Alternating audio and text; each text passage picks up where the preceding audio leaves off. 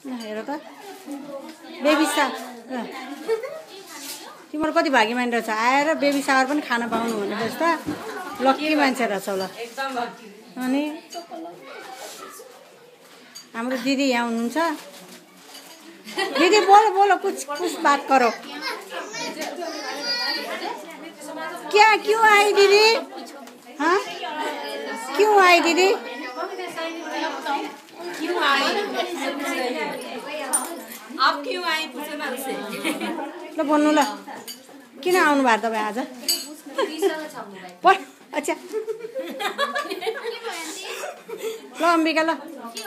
तिम्रो पनि पालो आउँदैछ ल ल। तिमी किन आएको आज? ल अम्बिका भन ल।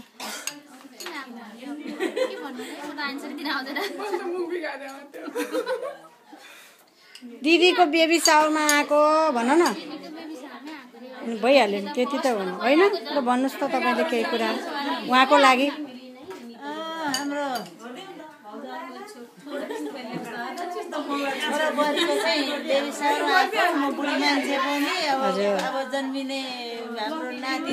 हजुर।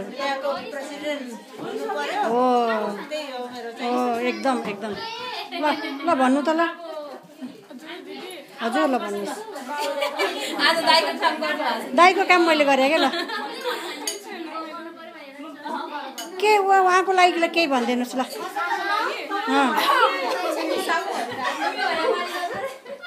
फलोस् फुलोस् एकदम राम्रो प्रेसिडेन्ट। उहाँले कस्तो राम्रो कुरा गर्नुभयो? ए उहाँले कस्तो राम्रो कुरा गर्नुभयो? भोलि प्रेसिडेन्ट हुने ब- नानी हाम्रो छोरा बुहारीको उसको लागि आएको भोलि प्रेसिडेन्ट हुने बच्चा भनेर